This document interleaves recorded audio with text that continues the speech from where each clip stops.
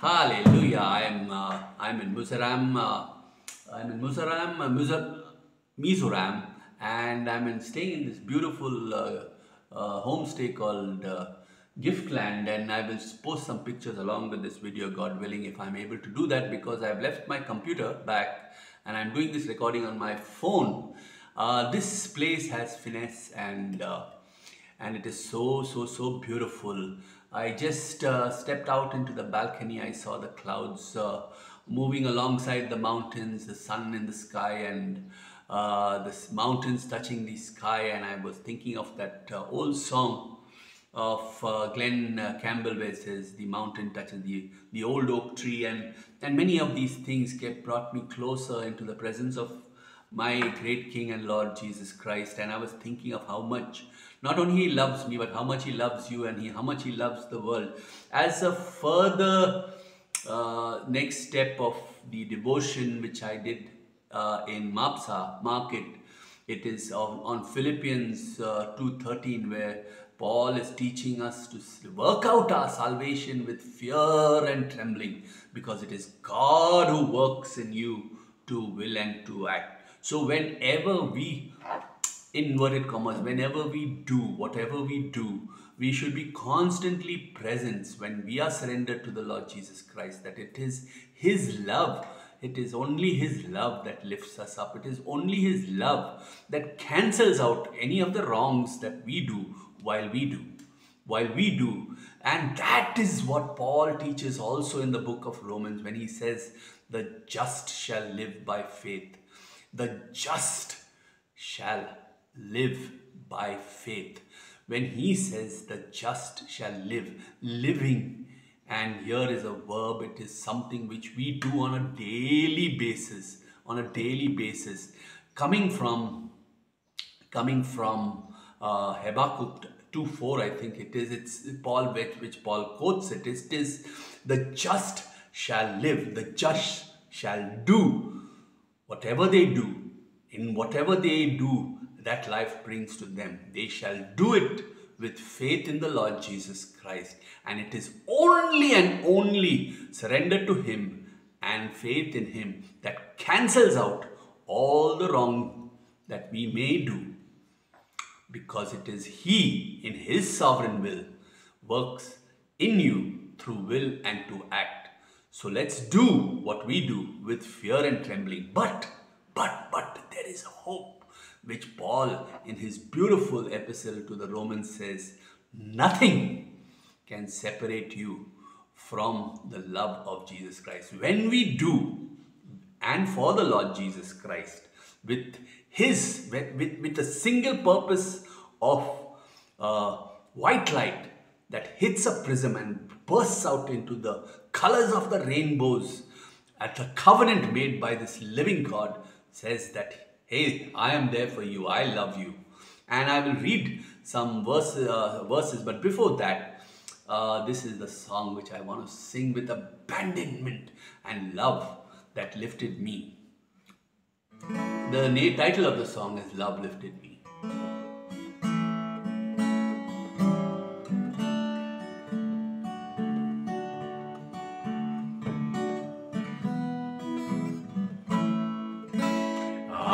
Was sinking deep in sin, far from the peaceful shore, very deeply stained within, sinking to rise no more. But the master of the sea heard my despairing cry. From the waters lifted me, safe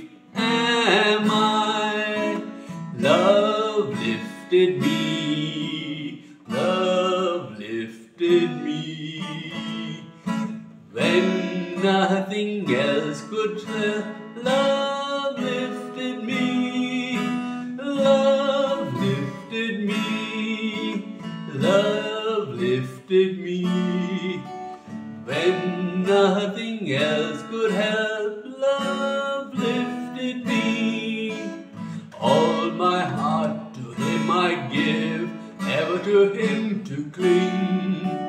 In His blessed presence live, ever His praises to sing.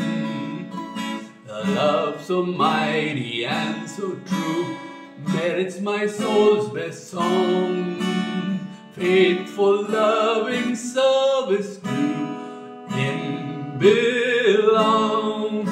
Love lifted me, love lifted me. When nothing else could help,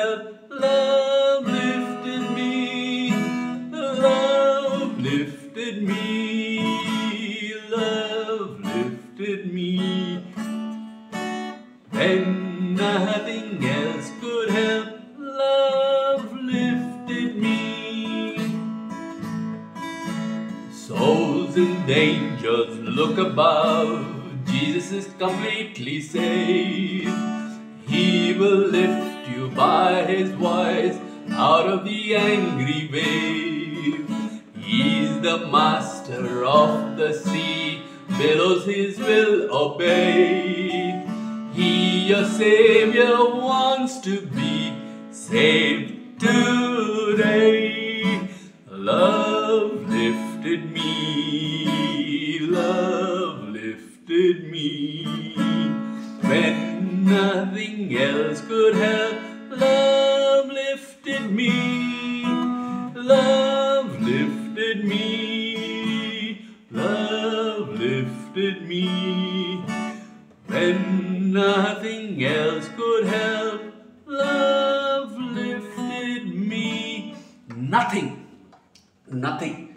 You are in a loving relationship with God who created every beauty that you see around, He will lift you up. He will lift you up. He works in you and through you to will and to act so that you may rent, you may live a life, a righteous, a life that is a righteousness from Him and through Him and to the people you interact with.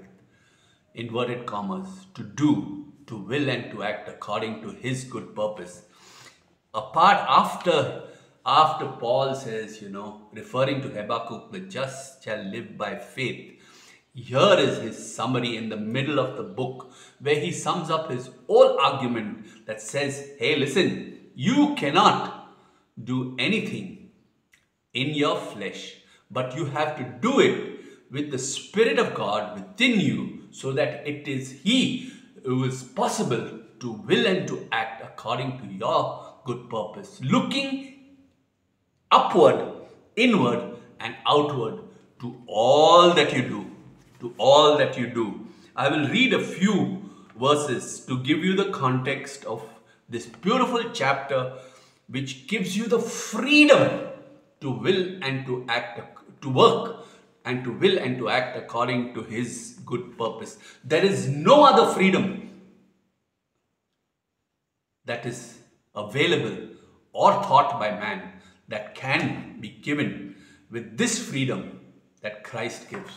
And let me just tell you this, uh, which I have in this devotion, to give you the context. Oh, Paul, you know, he is trying to do, he's trying to do, and he sees that he can't, and he lifts up his hands in surrender and he says, Oh, wretched man that I am, who will deliver me from this body of death? When I try to do, I die every minute, every second. When I try to do it in my own flesh and in my own, by my own understanding, rather than rely on the wisdom of God. And he says, Thank God. He says, This is the wisdom of God. That is the responsibility of the church to show. Thank God. And this is this wisdom. Through Jesus Christ our Lord. So then, with my mind, I myself serve the law of God, the law that God had given for all righteous living through the prophet Moses and all the prophets that came after him. That the law and the prophets. I serve them. I serve them, he says, with my mind and with my with, uh, with my mind I serve them with the law of God. But, but, when I do and when I am looking upward, inward and outward to all that I do, therefore there is no condemnation in whatever you do for all those who look upward, look inward and then look outward, for those who are walking by the Spirit according, not according to the flesh, not according to the flesh, but according to the Spirit. For the Spirit, Christ in you, who this Spirit of life in Christ, life in Christ, life where in Christ, if this is you, this is the law of Christ. You are walking in Christ, in Christ. For the law of the Spirit of life in Christ has made me free, absolutely free to do so that I can walk looking upward, looking inward and looking outward so that I can walk in the Spirit that uh, with a freedom that only Christ can give and the Spirit of Christ can give. For the law of life in Christ has made me free, free from the law of sin and death. Sin and death. And then he goes on to say, it is this spirit that cries out, Abba, Father. It is this spirit that gives you that while you are doing to will and to act according to his good purpose, you will face perils. You will face all, even death. Even death. But hey, hey, hey there. Who can separate us from the love of Christ. Say, all tribulations? Shall a loss of property? Shall a loss of life of a loved one who have been taken away and snatched away before time? Has that, is that tribulations? Oh, think of it. Can war, can, can war, can famine? Let's read on. Who shall separate us from the love of Christ? Shall tribulation, distress, persecution, people that come against you because you are standing for the truth, or, truth in Christ that is written according to the law of the universe? Are you going to, are you going to stand alone? Is it famine, distress, nakedness, peril or sword? As it is written, hey, it has been written, for the sake of Christ we are killed all day long. We are counted as sheep for the slaughter. Yet in all these things, in all, nothing, in all these things, we are more than conquerors through Him who loved us. Who loved us. For I am persuaded that neither death nor life, nor angels, nor principalities, nor powers, nor things present, nor things to come, nor height, nor depth, any nor any other created thing shall be able to separate us from the love of God which is in Christ Jesus, Jesus, my Lord, my God, my Savior. Hey, whatever mire, whatever depths of billows of water, whichever sea you are, He has control over it. If you are love Him, as he has loved you, if he has loved you.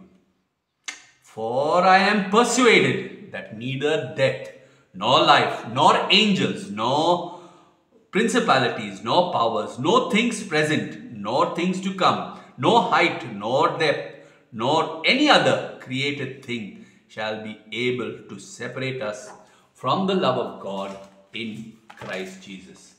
Brothers, when I look up, I look down, in, and I look out, I am like Paul. I say, Oh wretched man, what am I doing? And how am I doing it? Why am I doing it?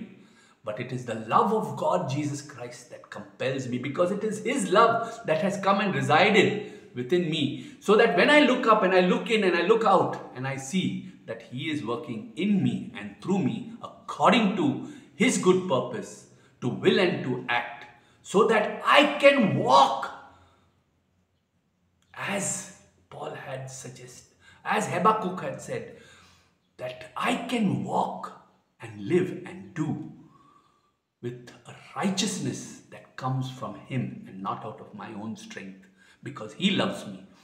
How can I ever measure up to a holy, holy, holy, holy, holy God? Never, never. But when He works in me to will and to act according to His good purpose, by faith I walk and not by sight. Every step of the way I walk, I walk so that knowing with fear and trembling that it is His love who walk, works in me through to will and to act according to His good purpose.